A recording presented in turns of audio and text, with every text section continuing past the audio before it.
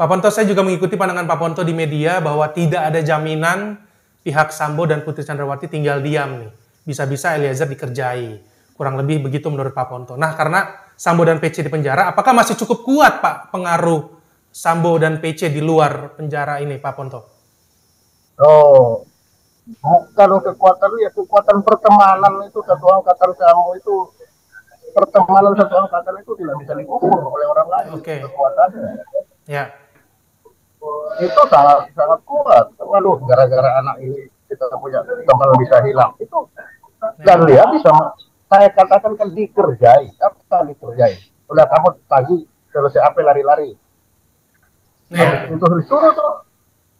Disuruh hal-hal yang yang menurut itu kuasa saya sebagai atasan. Ya, sampai dia sendiri itu tidak mampu untuk melaksanakan itu. Ya, itu bisa kan? Ya.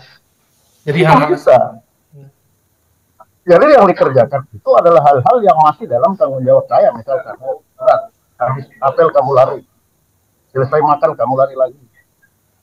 Besok suruh ini lagi suruh ke sana. Dan dia tidak bisa sebagai angkat tenaga tidak ada alasan untuk tidak melaksanakan perintah itu. Ya, sampai dia pingsan sendiri